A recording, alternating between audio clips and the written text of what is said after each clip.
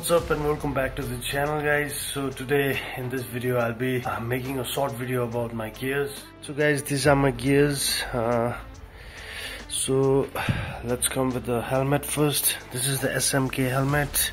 This is a large size helmet. It's kind of loose so I don't wear this often. Coming to the gloves coming to the gloves I've got this Solis gloves over here.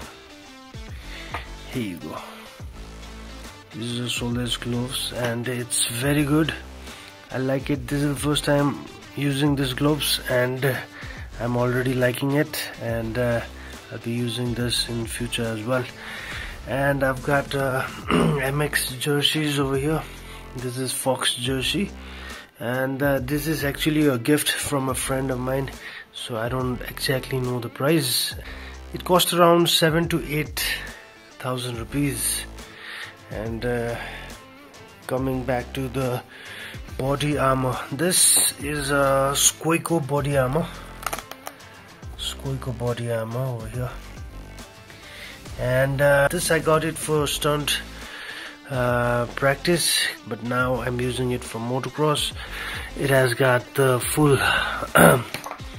elbow protection shoulder protection chest and uh, got back protector here as well. And actually this is a bit longer.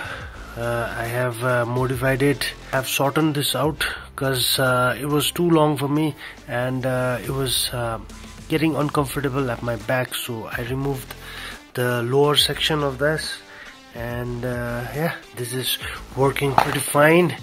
If you have seen my recent video I've used this on my first race. This is the Scoyco body armor. And coming back to the boots.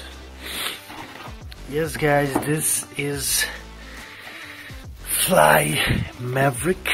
This is a Fly Maverik boot. And uh, it's been like uh, uh, one and a have almost two years it's about to be two years and uh, I have used it pretty roughly.